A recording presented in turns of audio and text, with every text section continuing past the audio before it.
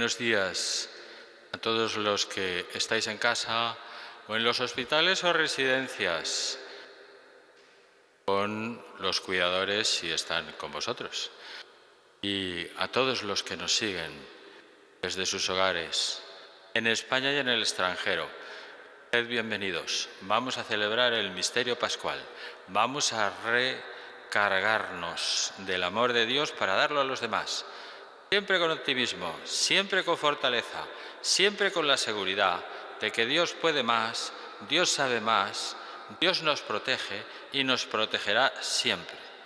Y todos unidos saldremos adelante de esta y de lo que pueda ocurrir en el futuro en nuestras vidas, siempre.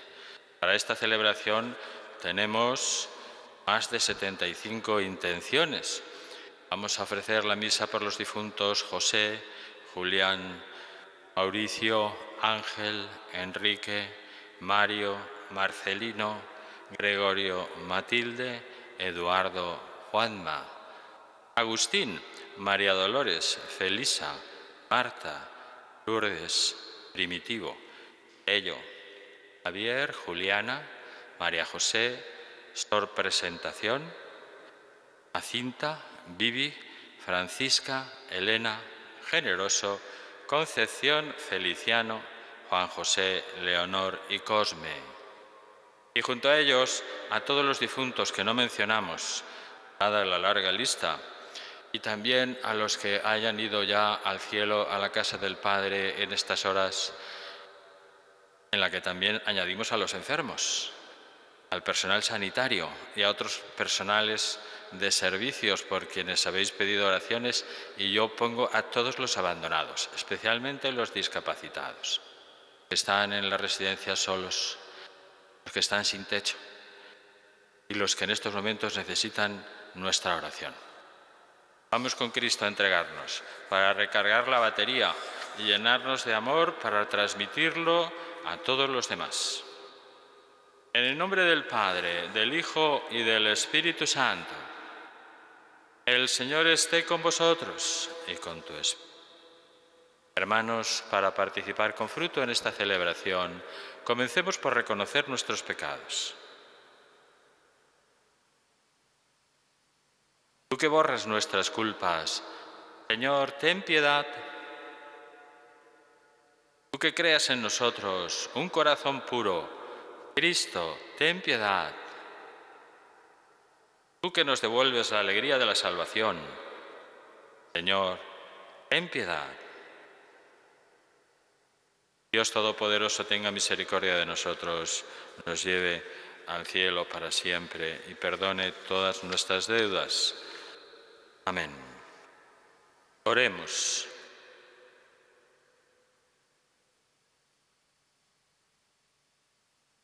Escucha nuestras súplicas, Señor y protege con amor a los que han puesto su esperanza en tu misericordia, para que, limpios de la mancha de los pecados, perseveren en una vida santa, lleguen de este modo a heredar tus promesas. Por nuestro Señor Jesucristo, tu Hijo, que vive y reina contigo en la unidad del Espíritu Santo, y es Dios por los siglos de los siglos.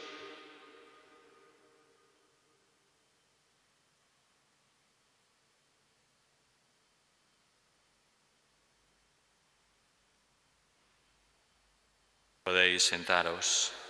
Vamos a escuchar la palabra de Dios. Primera lectura, lectura del libro del Génesis. En aquellos días, Abraham cayó rostro en tierra y Dios le habló así. Por mi parte, esta es mi alianza contigo.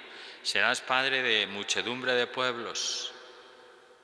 Ya no te llamarás Abraham, sino Abraham porque te hago padre de muchedumbre de pueblos. Te haré fecundo sobremanera, sacaré pueblos de ti, y reyes nacerán de ti. Mantendré mi alianza contigo y con tu descendencia en futuras generaciones, como alianza perpetua. Seré tu Dios y el de tus descendientes futuros. Os daré a ti y a tu descendencia futura la tierra en que peregrinas, la tierra de Canaán, como posesión perpetua, y seré su Dios. El Señor añadió a Abraham, por tu parte, guarda mi alianza, tú y tus descendientes, en sucesivas generaciones.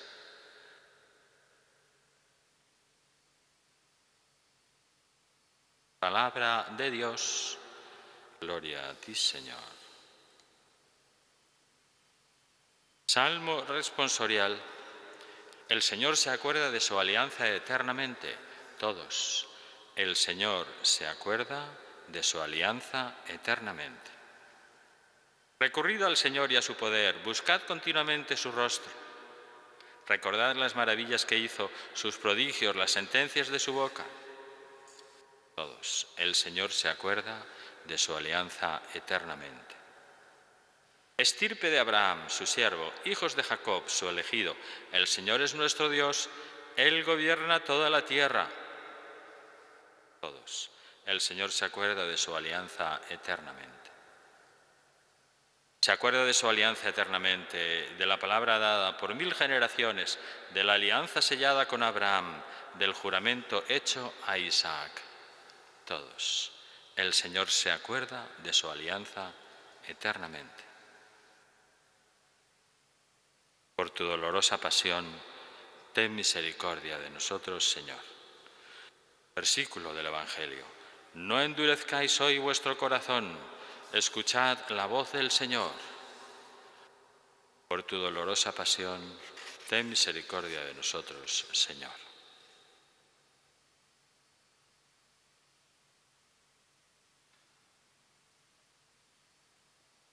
El Señor esté con vosotros y con tu espíritu. Lectura del Santo Evangelio según San Juan. Gloria a ti, Señor. En aquel tiempo dijo Jesús a los judíos, en verdad, en verdad os digo, quien guarda mi palabra no verá la muerte para siempre. Los judíos le dijeron, ahora vemos claro que estás endemoniado. Abraham murió, los profetas también ¿Y tú dices, quien guarde mi palabra no gustará la muerte para siempre? ¿Eres tú más que nuestro padre Abraham que murió? También los profetas murieron. ¿Por quién te tienes? Jesús contestó, si yo me glorificara a mí mismo, mi gloria no valdría nada. El que me glorifica es mi Padre, de quien vosotros decís, es nuestro Dios, aunque no lo conocéis. Yo sí lo conozco y si dijera no lo conozco sería como vosotros un embustero. Pero yo lo conozco y guardo su palabra. Abraham, vuestro padre, saltaba de gozo pensando ver mi día, lo vio y se llenó de alegría. Los judíos le dijeron, ¿no tienes todavía cincuenta años y has visto a Abraham? Jesús les dijo, en verdad, en verdad os digo, antes que Abraham existiera, yo soy. Entonces cogieron piedras para tirárselas, pero Jesús se escondió y salió del templo.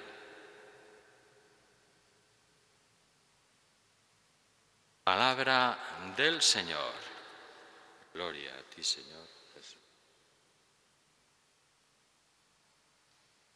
Podéis sentaros en estos días en la prueba como estamos todos siguiendo el plan de Dios tenemos que tener muy claras nuestras referencias para no perdernos.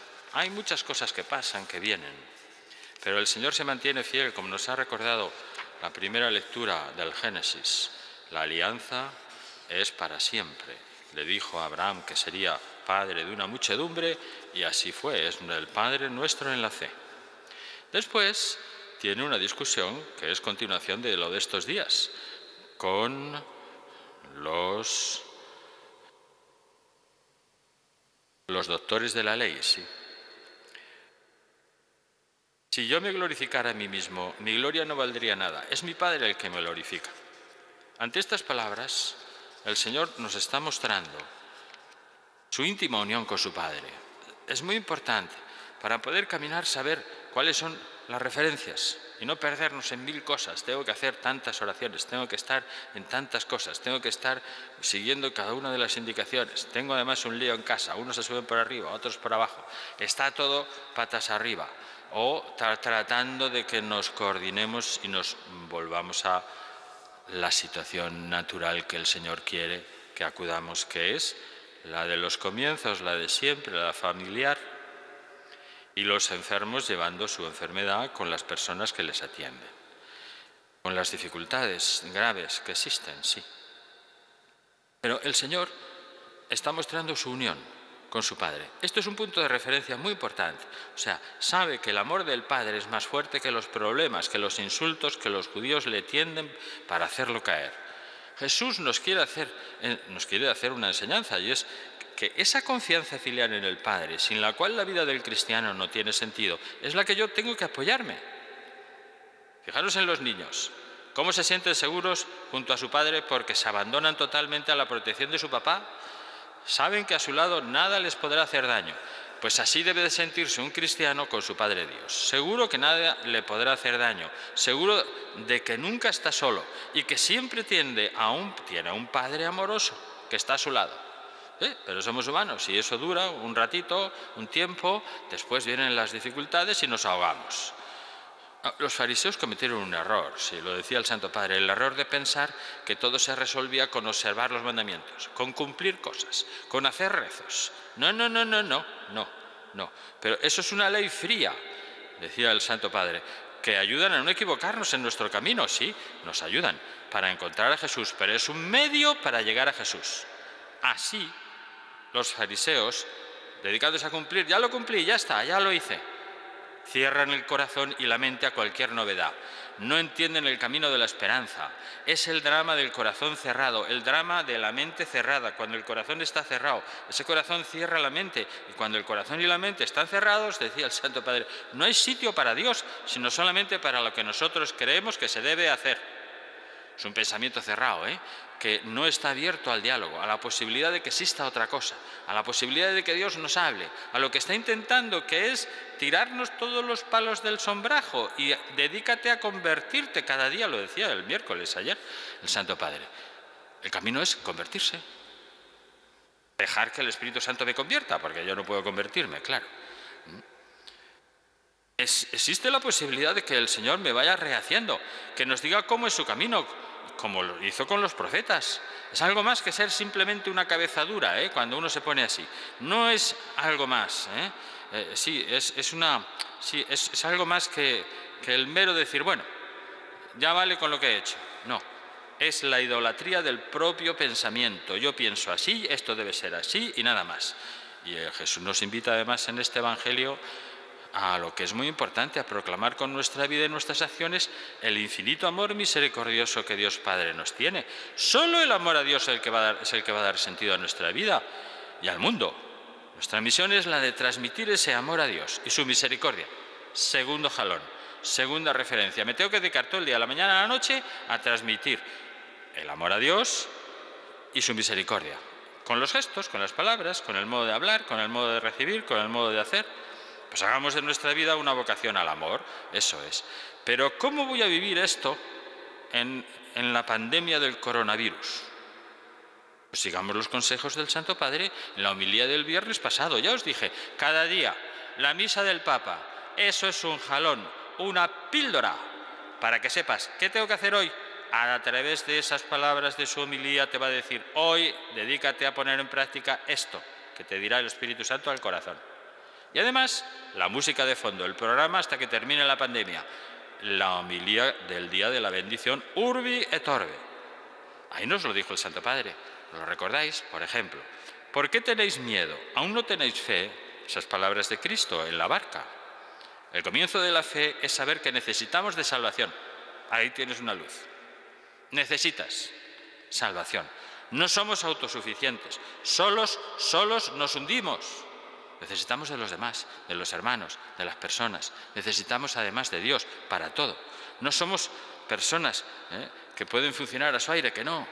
Los antiguos marineros sabían que necesitaban de las estrellas. Y decía el Santo Padre, invitemos a Jesús a la barca de nuestra vida, entreguémosle nuestros temores, para que me los venza. Me los venza Él, claro. Al igual que los discípulos, experimentaremos que con Él a bordo no se naufraga, porque esta es la fuerza de Dios, convertir en algo bueno todo lo que nos sucede, incluso lo malo. ¿Mm? Luz, otra referencia. Él trae serenidad en nuestras tormentas, porque con Dios la vida nunca muere. Entonces nos interpela el Santo Padre, a través de, sus palabras, el Espíritu Santo actúa y nos invita a despertar y activar la solidaridad, activar la esperanza, que es lo que va a dar solidez, serenidad, sentido a las horas, donde todo puede naufragar. Sí, pero ¿yo qué hago? ¿Me hundo? ¿Voy a mi bola? ¿Me refugio en mis aficiones en lugar de pensar en las necesidades de los demás? ¿Qué más puedo hacer? Nos lo dijo el Santo Padre. Y con esto dejo ya dos marcas para que no nos perdamos. Vamos a empezar la Semana Santa. Tenemos un ancla, ancla, para estar anclados, firmes. En su cruz hemos sido salvados. Tenemos un timón para saber cuál es la dirección que tenemos que seguir. El rumbo en su cruz hemos sido rescatados. Tenemos una esperanza. En su cruz hemos sido sanados y abrazados para que nadie ni nada nos separe de su amor redentor. Bueno, pues eso es, abrazar su cruz. Y lo explica el Santo Padre. Es animarse a abrazar todas las contrariedades del tiempo presente. ¿Vivo yo esto? Abandonando por un instante nuestro afán de omnipotencia y de posesión para darle espacio a la creatividad que solo el Espíritu es capaz de suscitar, a que me diga cómo lo tengo que vivir es animarse a motivar espacios donde todos puedan sentirse convocados, hablar en positivo, permitir nuevas formas de hospitalidad, creatividad, de fraternidad, de solidaridad. ¿Me animo a esto o estoy metido en mí? En su cruz hemos sido salvados para hospedar la esperanza y dejar que sea ella quien fortalezca y sostenga todas las medidas y los caminos posibles que nos ayuden a cuidarnos y a cuidar, a abrazar al Señor para abrazar la esperanza esta es la fuerza de la fe que libera del miedo y de la esperanza. ¿Por qué tenéis miedo? ¿Aún no tenéis fe? Vamos a pedírselo a Santa María que nos abrace, que nos conduzca a abrazar la cruz. Lo vamos a vivir en esta Semana Santa. Mañana es Viernes de Dolores. Empezaremos con la Virgen para abrazar la esperanza, para abrazarla de verdad. Me decía un sacerdote, mira, ahora mismo hay muchas cosas, muchos consejos que les llegan a las personas. Y él me daba un consejo, tú diles que todos los días a las personas piensen en, pues eso, unas palabras. Tres palabras para ir y para estar orientado durante... ¿Qué tengo que hacer? Lo que tienes que hacer es vivir bajo estas tres indicaciones. Las tres R's. R, de Roma. Eh, R. La primera la primera de todas es, evidentemente, que tengo que enfrentar, tengo que enfrentarme a una realidad. Y es que tengo que estar renunciando, dejando que el Espíritu me convierta. ¿Qué renuncia hoy? Segunda R. Además de renunciar, nos lo pide el Señor, resistir Poneros la canción que acaba de salir si queréis. Para, esa letra es muy buena, ¿eh? Para meditar. Sí, resistir. He resistido, he resistido a cada paso. Tercera R, rezar. Rezar sin parar. Que la Virgen nos acompañe. Oremos al Señor nuestro Dios. Él desea que le presentemos nuestras necesidades. Para que la Iglesia comunidad de cristianos, guarde siempre y fielmente la alianza de Dios, roguemos al Señor, te rogamos, óyenos, para que el Señor ilumine con la luz del Espíritu a cuantos aún no lo conocen y lo están buscando con sinceridad, roguemos al Señor, te rogamos. Para que los que ejercen cualquier forma de poder o autoridad en el mundo sean conscientes de que es Dios el que conduce con su providencia la marcha de la historia, roguemos al Señor, para que el Señor en su bondad se acuerde de su alianza con nosotros, cuide de nuestros enfermos, reciba a los difuntos y ayude a todos los que están solos y abandonados, y quede sellada y ratificada con la sangre de Jesucristo, roguemos al Señor. Te rogamos, óyenos. Escucha, Padre, nuestra oración, que te dirigimos confiando en la alianza que has establecido con tu nuevo pueblo, la Iglesia, en la sangre de Jesucristo tu Hijo, que vive y reina contigo por los siglos de los siglos.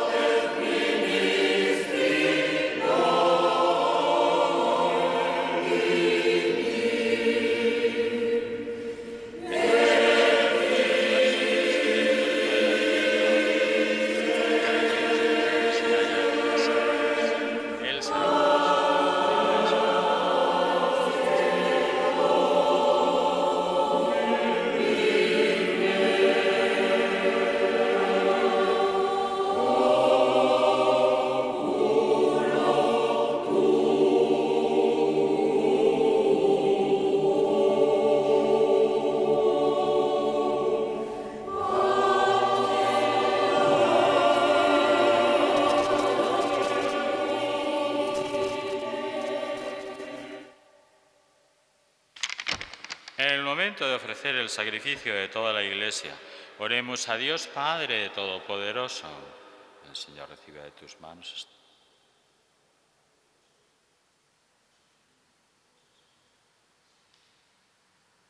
Complacido, Señor, con las ofrendas presentes, haz que favorezcan nuestra conversión y la salvación de todo el mundo. Por Jesucristo nuestro Señor. El Señor esté con vosotros y con tu espíritu. Levantemos el corazón, lo tenemos levantado hacia el Señor. Demos gracias al Señor nuestro Dios, es justo y necesario. En verdad es justo y necesario es nuestro deber y salvación. Darte gracias siempre y en todo lugar, Señor Padre Santo, Dios Todopoderoso y Eterno, porque en la pasión salvadora de tu Hijo, el universo aprende a proclamar tu grandeza y por la fuerza inefable de la cruz se hace patente el juicio del mundo y el poder del crucificado. Por eso, Señor, nosotros, llenos de alegría, te aclamamos con los ángeles y con todos los santos, diciendo, Santo, Santo, Santo es el Señor, Dios del universo. Llenos están el cielo y la tierra de tu gloria. Osana en el cielo. Bendito el que viene en nombre del Señor. Osana en el cielo.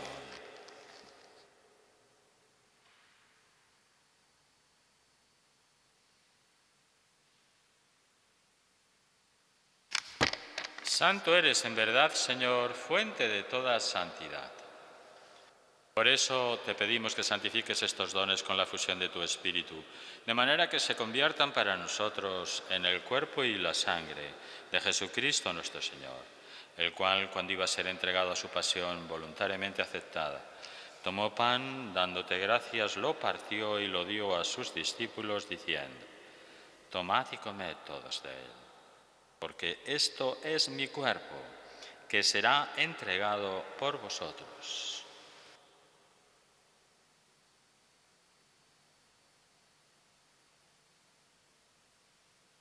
Del mismo modo, acabada la cena, tomó el cáliz y dándote gracias de nuevo lo pasó a sus discípulos diciendo, Tomad y bebed todos de él, porque este es el cáliz de mi sangre, sangre de la alianza nueva y eterna que será derramada por vosotros y por muchos para el perdón de los pecados. Haced esto en conmemoración mía.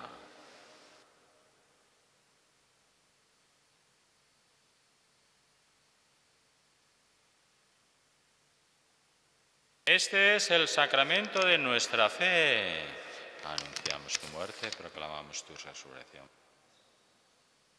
Así pues, Padre, al celebrar ahora el memorial de la muerte y resurrección de tu Hijo, te ofrecemos el pan de vida y el cáliz de salvación y te damos gracias, porque nos haces dignos de servirte en tu presencia. Te pedimos humildemente que el Espíritu Santo congregue en la unidad a cuantos participamos del cuerpo y la sangre de Cristo. Acuérdate, Señor, de tu iglesia extendida por toda la tierra y con el Papa Francisco, con nuestro arzobispo Carlos y sus obispos auxiliares y todos los pastores que cuidan de tu pueblo, llévala a su perfección por la caridad. Recuerda a tu hijo Ernesto, a quien llamaste de este mundo a tu presencia, concédele que así como ha compartido ya la muerte de Jesucristo, comparta también con él la gloria de la resurrección. Acuérdate también de nuestros hermanos que durmieron en la esperanza de la resurrección en medio de esta gran pandemia y de todos los que han muerto en tu misericordia. Admítelos a contemplar la luz de tu rostro. Ten misericordia de todos nosotros y así con María, la Virgen Madre de Dios, su esposo, San José, los apóstoles y cuantos vivieron en tu amistad a través de los tiempos, merezcamos por tu Hijo Jesucristo compartir la vida eterna y cantar tus alabanzas. Por Cristo, con Él y en Él, a ti Dios Padre Omnipotente, en la unidad del Espíritu Santo, todo honor y toda gloria por los siglos de los siglos.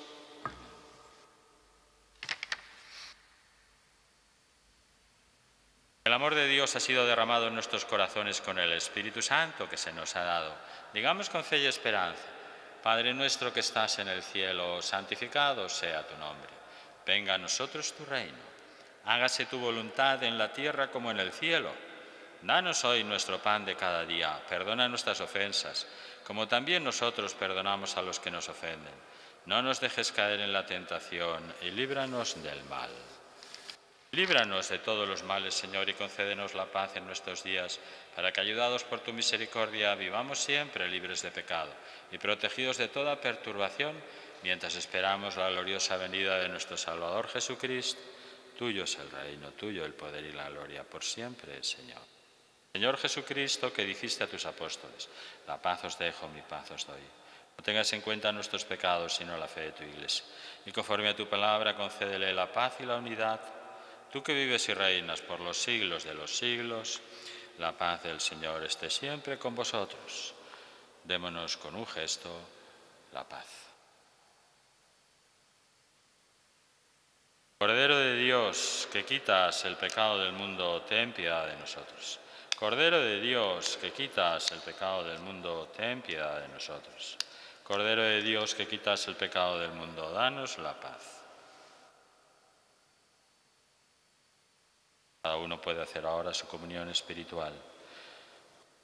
Cuando el sacerdote, cuando vaya yo a recibir el cuerpo y la sangre del Señor.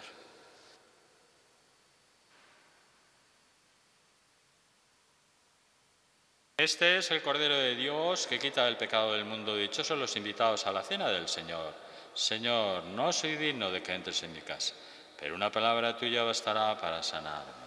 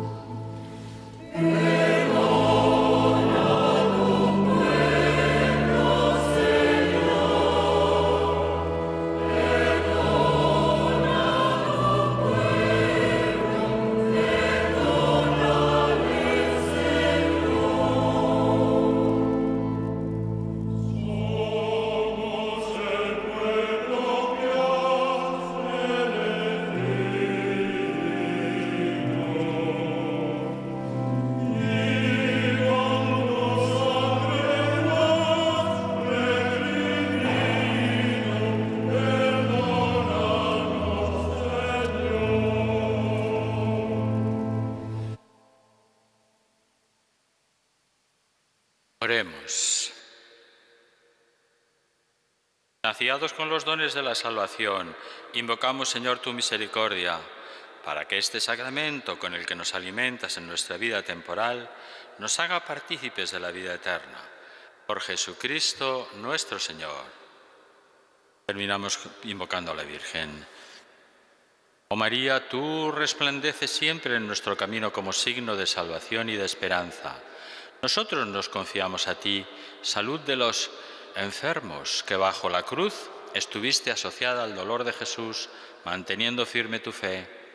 Tú, salvación de todos los pueblos, sabes de qué tenemos necesidad y estamos seguros que proveerás para que, como en Caná de Galilea, pueda volver la alegría y la fiesta después de este momento de prueba. Ayúdanos, Madre del Divino Amor, a conformarnos a la voluntad del Padre y hacer lo que nos dirá Jesús, quien ha tomado sobre sí nuestros sufrimientos y ha cargado nuestros dolores, para conducirnos a través de la cruz a la alegría de la resurrección. Bajo tu protección buscamos refugio.